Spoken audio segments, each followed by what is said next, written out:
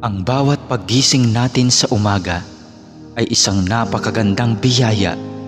Kaya dapat lagi tayong nagpapasalamat sa bawat araw na ibinibigay ng Diyos sa atin.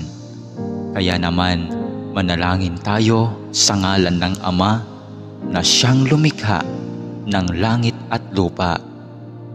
Amen.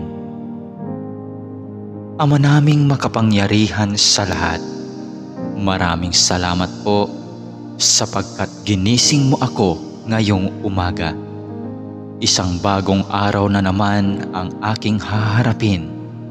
At dahil dito, lubos-lubos ang aking pasasalamat. Sa unang mga sandali ng aking araw, nais kong mapuspos ng iyong biyaya at pagmamahal. Kaya narito ako upang makapiling ka sa panalangin. Bantayan mo ako at gawing ligtas sa buong maghapong ito. Ilayo mo ako at ang aking pamilya sa anumang masama. Maituon ko nawa ang aking pag-iisip, pananalita at asal tungo sa iyo. Nawa maging kalugod-lugod sa iyo ang lahat ng aking gagawin sa araw na ito. Panginoon ko at Diyos ko, naniniwala at nananalig ako na nanaririto ka at kapiling ko sa mga sandaling ito na nakikita mo ako at iyong naririnig ang aking mga daing, mga kahilingan at mga panalangin.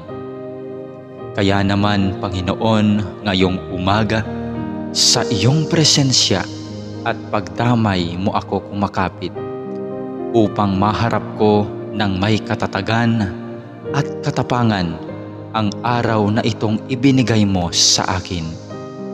Mapagmahal na Panginoong Diyos, na nalaman kong mahal mo ako at binabantayan mo ako palagi. Sa oras man ng kasiyahan at lalong-lalo na sa panahon ng kagipitan at pagsubok. Tulungan mo akong huwag makalimot sa katotohanan ito.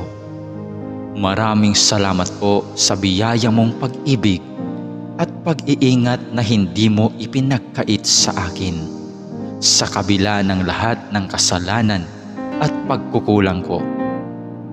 Puno ng pag-asa akong magpapatuloy sa araw ni ito sa aking mga dapat gawin dahil na rin sa iyong pagtulong.